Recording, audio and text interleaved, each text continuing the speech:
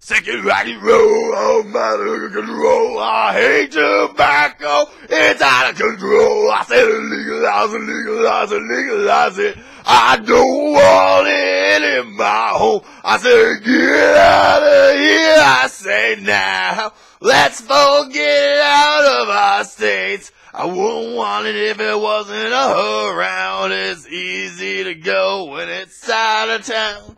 You know where it is when you go home.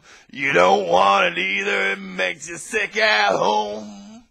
Legalize it.